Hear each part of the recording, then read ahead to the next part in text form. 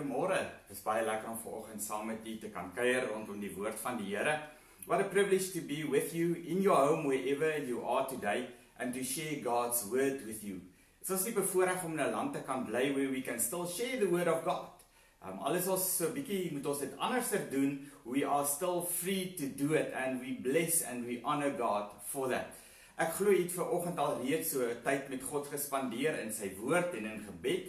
En dan baie belangrik dat jy ook tyd in lofprysing en aanbidding ges gespandeer het. And if you have not done it yet, I want to encourage you that as soon as we finish this broadcast that you will start praising and worshiping God. Saam met jou vrou, saam met jou man, saam met jou kinders, almal wat saam met jou in daardie huis is.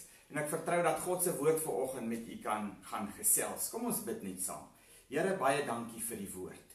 Dankie dat ons kan weet u woord is die waarheid. Dankie dat ons kan weet, Here, u woord verander nooit nie. Your word, Lord, is a lamp unto my feet and a light to my path. Lord, my prayer is that as we will share your word, that you will speak to us, that your Holy Spirit will do what only your Holy Spirit can do. And I bless you for your Holy Spirit, O Lord. Be exalted in our midst. And everyone that's listening, Here, dat hulle u teenwoordigheid nou daar sal ervaar waar hulle is. Ons bid dit in Jesus se naam. Amen. Nou gaan vanoggend vir u lees uit 1 Konings 18 en die tema van my woord is was dit toeval? Was it by accident? 1 Konings 18 vers 1 tot en met vers 8. Ek lees uit die ou Afrikaanse vertaling en dit lees so: En geruime tyd daarna het die woord van die Here in die 3de jaar tot Elia gekom en gesê: "Gaan heen, vertoon jou aan Agab, dan wil ek reën gee op die aarde." En Elia het gegaan om hom aan Agab te vertoon en die hongersnood was swaar in Samaria. Toe laat Agab Obadja wat oor die paleis was roep en Obadja het die Here baie gevrees want toe Isebel die profete van die Here uitgeroei het, het Obadja 100 profete geneem en hulle 50 50 by 'n man in 'n spilong weggesteek en hulle met brood en water onderhou. En Agab het vir Obadja gesê: "Trek deur die land na al die waterfonteine en na al die spruite en miskien sal ons gras kry sodat ons die perde en muile in die lewe kan hou en van die vee nie hoef uit te roei." En hulle het die land onder mekaar verdeel om dit deur te trek. Agab het afsonderlik met een pad getrek en Obadja het afsonderlik met 'n ander pad getrek. Terwyl Obadja op pad was, kom Elia hom met eens tegemoet en toe hy hom herken, val hy op sy aangesig en vra: "Is dit u my heer Elia?" En hy sê: "Dit is ek. Gaan sê aan jou heer Elia is daar." What we see and you can please go and read the whole chapter and one of two chapters previous to chapter 18 and we will see that Israel was experiencing a terrible drought. And this drought was the result of one man's prayer. The result of one man's prayer. Kan jy jouself voordink, voorstel dat iemand 'n gebed bid dat dit moet ophou reën? In Jakobus 5 vers 17 sien ons dat God se woord sê en Elia het gebid, een man het gebid en dit het vir 3 en 'n half jaar niks gereën. En ek wil myself net hier onderbreek and I want to remind you that there is exceptional power in prayer. So hou aan bid. The fervent heartfelt prayer of the righteous has a powerful effect. So een man bid en dit hou op reën. Nou vra ons, hoekom het dit opgehou reën? En dit het opgehou reën because this king Ahab was not paying attention to God and to his word. He was doing his own thing. En hy het ander gode begin aanbid. So dis nie was nie net dat hy God geïgnoreer het nie, hy het ook ander gode begin aanbid. Hy het altare gebou where sacrifices could have been brought to these foreign gods. Hierdie afgode. En uh, ons sien hy troue 'n goddelose vrou. 'n Vrou wat hom gehelp het om hierdie vreeslike goeders te doen. Hy het ook die volk aangemoedig om op al hierdie vreemde altare te gaan offer. En dan doen hy verdere dinge en hierdie is wat net van die goed wat hy gedoen het. Hy hy herbou Jerigo. En nou kan jy sê maar wat is nou so erg daarin om Jerigo te gaan herbou? In Josua 6 vers 26 lees ons die volgende: In die tyd het Josua hulle laat sweer, dis nadat hulle Jerigo ingeneem het, nê? Hulle laat sweer met die woorde: Vervloek is die man voor die aangesig van die Here wat sal opstaan om hierdie stad Jerigo op te bou. Ten koste van sy eersgeborene sal hy sy fondamente lê en ten koste van sy jongste sal hy sy poorte insit. And this happened, this exactly happened. While building, his eldest son died and his youngest son died as well. En jy sien, ten spyte van dit, hou hy aan om nie God se woord te gehoorsaam nie. En in reaksie op hierdie goed en 'n klomp ander goed, bid Elia en hy sê: "Here, stop die reën, maak die hemels toe." En met dit as agtergrond sal ons verstaan dat Elia was nie 'n gunsteling van Agab gewees nie. Inteendeel, hy het glad nie van hom gehou nie. And during these times of drought, Ahab tried to get hold of Elijah, but he could not because God hid him. En nou gebeur daar sekere goed. En die eerste plek is dit dit God praat met Elia. And we all will agree this is not by accident, on purpose. God spoke to Elijah. And he told Elijah, listen, go and show yourself to Ahab. Hierdie koning wat vir jou kwaad is, hierdie koning wat heel waarskynlik jou skade aan wil en gaan berokken. En terselfdertyd gebeur iets anders. Terwyl God met Elia praat, roep Agab vir Obadja. En Agab sê vir Obadja, luister man, help me. Let's go and see if somewhere we can still find some food for the animals and water for the animals so that the animals will not die. En ek wil aan hierdie vraag vra, so was dit per toeval. Was dit per toeval dat terwyl God met Elia praat, Agab en Obadja bymekaar kom en Agab aan Obadja hierdie opdrag gee? Proverbs 21 verse 1 tells us the following: It is as easy for God to steer a king's heart for his purpose as it, as it is for him to direct the course of a stream. So dit was nie per toeval nie. Nou sien ons hierdie ding gebeur. Agab en Obadja loop twee verskillende paaie.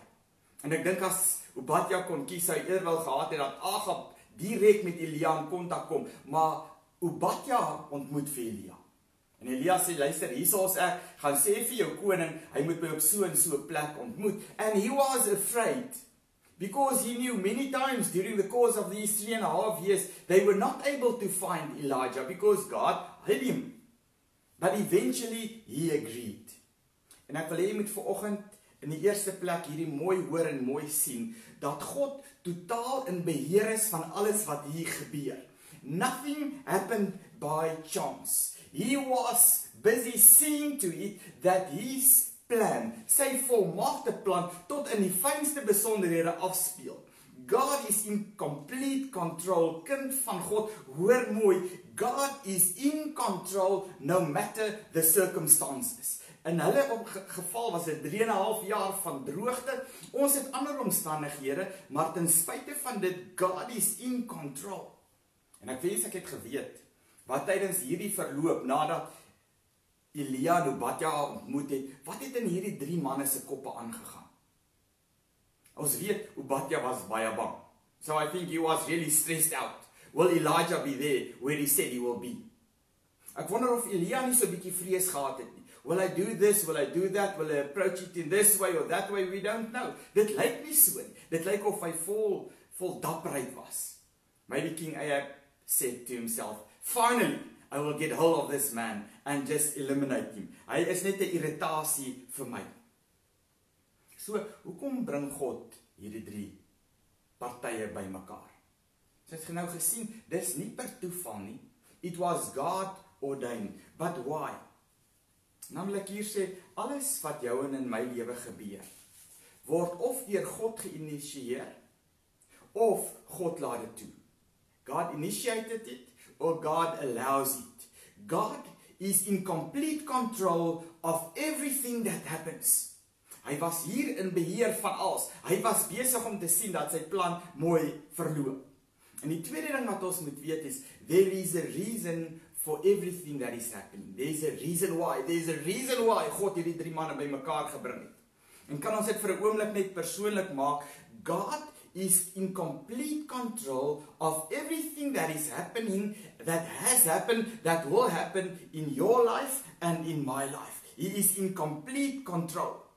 En dan sê hy vir ons, hy gee vir ons hierdie versekering 1 Korintiërs 10 vers 13 that nothing will come our way that is too big for us. Nothing. Niks. Niks. As God sê niks, dan bedoel hy presies dit dit niks. And there is purpose for every circumstance. En hy gee vir ons dan die versekering hierdie in Romeine 8. Hy sê all things work together for good to them who love God. En dit is twee goed. Dit werk ten goeie mee, nie vir almal nie, nie vir enige iemand nie, want ek hoor die wêreld haal ook hierdie vers aan. All things work together for good, vir jou goed, vir my goed, to them who love God. So, as jy vanmôre in verhouding staan met die koning van die konings, as jy hom liefhet, as jy hom dien, as die leef van sy woord jou doelwit is, dan kan ek vir julle sê alles sal ten goeie meewerk. En as jy dalk daar sit of dalk nog in jou bed lê en jy sê, "Jog, Dirk, weet jy waarvan jy praat? Do you mean also the situation that the world is facing right now? Do you also include my personal circumstances?" En alles wat ek nou moet deurgaan en dit wat dalk nog gaan kom want ek hoor almal sê die slegte lê nog voor vir ons veral finansiëel en die antwoord is ja as in ag genome wil ek hê jy moet weet dat God is in beheer hy sal nie toelaat dat 'n groot goed jou pad langs kom nie he will see to it that all things work together for your good child of god al lyk dit vir u totaal on en al onmoontlik. Child of God, something good is going to come out of this for you in Jesus name. Let me say, something good is going to come out of this for you in Jesus name. So hierdie storie gaan aan. En ons sien this godly plan reaches its climax. En Elias daar en koning Agab is daar en 450 Baal profete is daar en 400 profete van Asera is daar. Jy kan dit alles gaan lees. Oh, and a whole lot of other people gathering. En ons sien hierso God arranged this standoff. This standoff between Elijah wat eintlik maar net God verteenwoordig en this standoff between Baal and all his prophets. En mense, dis presies waar ons vanoggend is. The enemy is trying to show his might. The enemy is trying to show his muscle. Die vyand wil jou en my bang maak. Hy wil ons bang maak oor ons gesondheid. Hy wil ons bang maak oor ons toekoms. Hy wil ons bang maak oor ons finansiële situasie. Hy wil ons bang maak oor 'n klomp goed, oor ons oorlewing. World economists are in a panic governments are in a panic. Hulle sit allerlei maatreëls in plek en ja, dis nodig. Ek dis net so. En hy sê vir my so, gaan ons moeilike tye in. I refer to John 16:33. Last week and I want to repeat it. This world will make you suffer. Maar hou goeie moed. Ek het die wêreld oorwin. So despite Everything God will take care of you. He is in control. En ek wil hê moet dit onthou. Elia was alleen. He was standing alone. You are not alone. You've got other fellow Christians that are standing with you. You are not alone and God is with you. And despite being alone, Elijah stood firm. Hy stoet firm, nie omdat hy so goed en wonderlik is nie, want soms wil ons mense vereer. Dis nie omdat hy so goed of wonderlik is nie, but because he served a great big wonderful God. The very same God of Abraham, Isaac and Jacob. Hierdie God van Elia is vanoggend ook jou en my God. En al voel jy dalk vanoggend jy's alleen in jou omstandighede. Dalk luister jy vanuit 'n siekbed.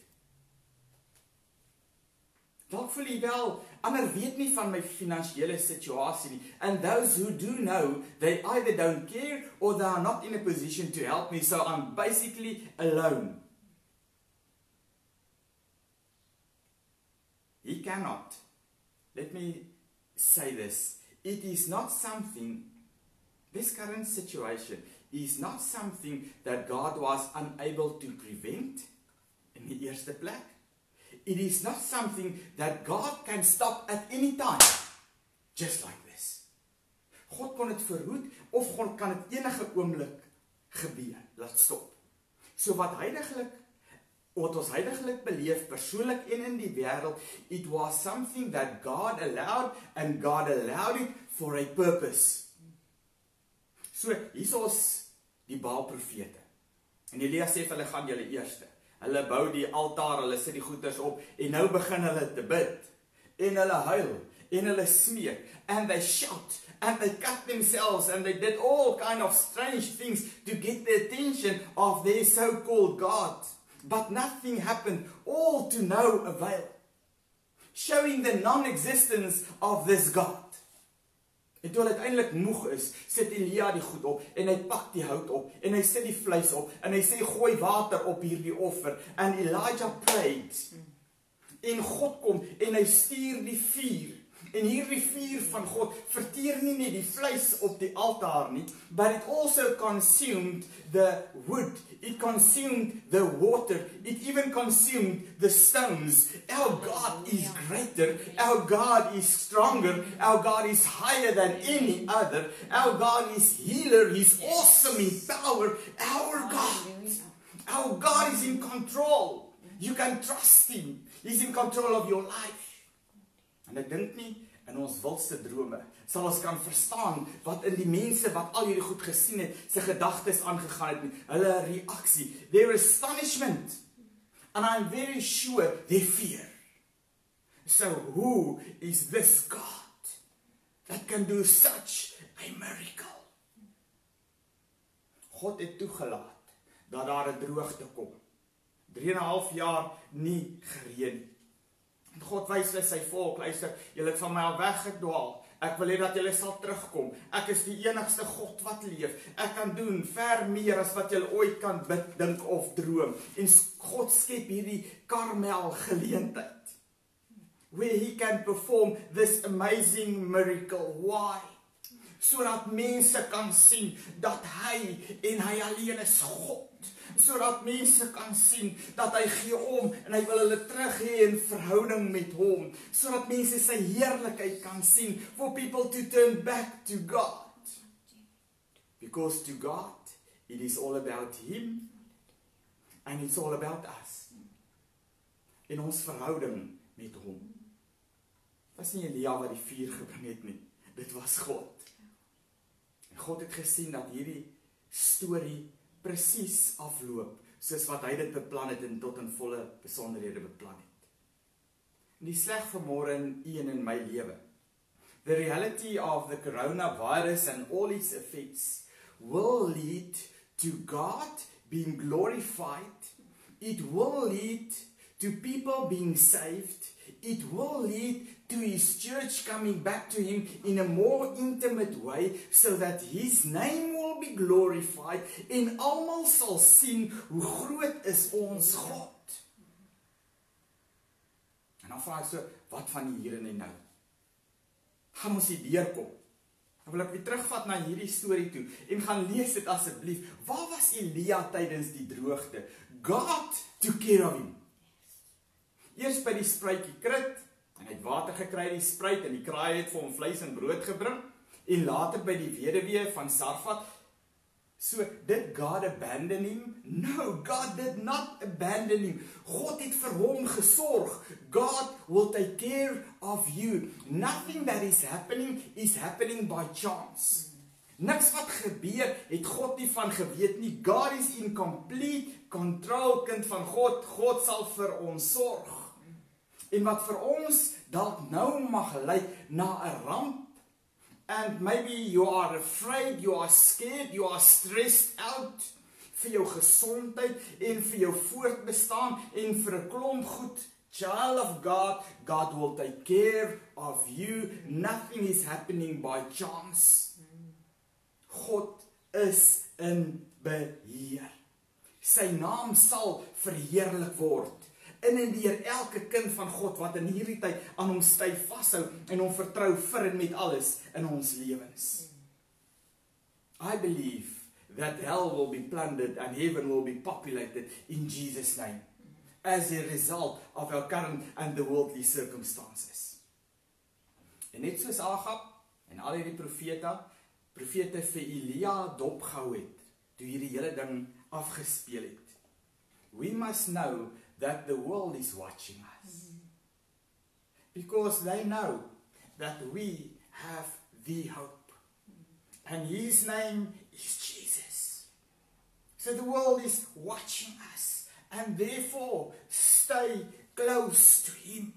closer than ever before in your whole whole life stay close to him. In his presence there is fullness of joy. In his presence there is peace. But it's in his presence. It is not out there. It's in his presence. Seek his presence.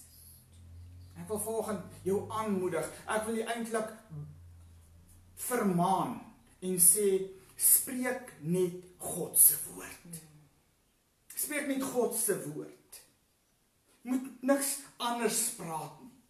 Kom ons hou op en ek is myself skuldig elke nou en dan dat ek maar hierdie ding wat my daar wil vat. Kom ons hou op om ons tyd te mors op allerlei samesweringsteorieë, conspiracy theories. Let's rather seek God, seek his face.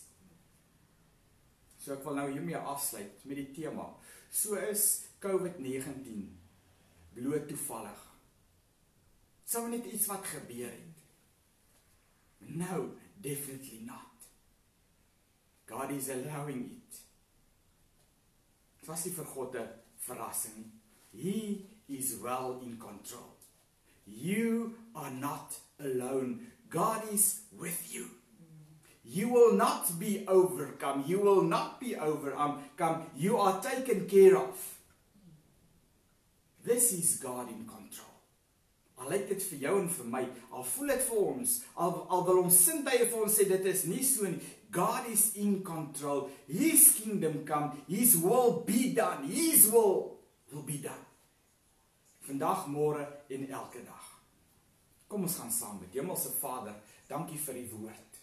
U woord is die waarheid. Dankie Here dat ons vanmôre kan staan op u woord. Dis altyd daar. Groot is U, wonderbaar is U, kosbaar en spesiaal is U, Here van die leerskaar. Word vanmôre verheerlik. Ek wil bid dat U elkeen van die kinders sal opstel en sal vashou.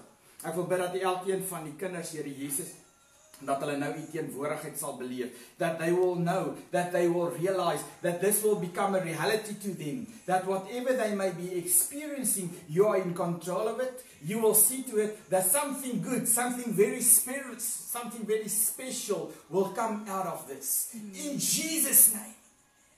This is not the end lord. This is your name that will be exalted. Here ek wil elke gees van vrees elke gees van ongeloof wil ek nou aanspreek en beveel om mense harte en gedagtes te verlaat in Jesus naam. And thank you for your joy and thank you for your peace. En nou wil ek vra as jy nog nie in verhouding staan met hierdie koning van die konings nie. As jy hom nog nie lief gekry het met alles wat binne in jou is nie, dan wil ek jou vanmôre nooi om jou hart te lewe vandag finaal volkome in sy hande te plaas. Maak die leef van sy woord die doelwit van jou lewe. And I'm going to pray with you and you can just follow me in prayer. Lord Jesus, thank you for this opportunity to set things straight with you. And your word tells me that whenever I confess my sin, you will take all my sins away. Nou wil ek vra Here kom was al my sonde weg. Was my skoon met die bloed. Ek bid nou Maak my kind kom in my lewe in. Gee nou my hele lewe oor. Lord as of today, I want to serve you with everything that is within me. Dankie vir hierdie geleentheid. En Here, ek wil bid dat daardie vrede en blydskap van kindskap van God nou elkeen se deel sal wees. In Jesus se wonderbare naam. U is groot, kosbaar en wonderlik. Ons eer U, Here Jesus. Amen. Nou ons hou ons vanmôre kerk. Ek het julle reeds aangemoedig om die Here te gaan loof en te prys om tyd en lofprys en aanbidding te gaan spandeer as jy dit nog nie het nie. Nou ek weet nie of julle dit doen of nie, maar ek gee net vir julle raad uit God se woord. Dit is belangrik, dit is nodig in die week het ek ook so iets daaroor gepraat. En dan ook is dit ook geleentheid om te gee vir God se werk en God se koninkryk. En jy kan 'n EFT, 'n oorplaansing gaan maak, elektroniese betaling volgens ook in die gemeente se rekening. En dankie vir elkeen wat so getrou gee. Ons staan verbaas as ons sien wat die Here doen ook in terme van die gemeente se finansies. En kan ek jou herinner, God is 'n beloner. Hy's 'n beloner van hulle wie hom soek. Hy's soek, hy's 'n beloner van hulle wat sy woord ernstig opneem. En nou ten slotte. Vrydag is goeie Vrydag. It's Easter Friday. And we celebrate the crucifixion of Jesus Christ. En ons weet dis dis die hoogtepunt. Hierdie naweek wat kom is die hoogtepunt in die in die kerk vir die jaar. Elke jaar.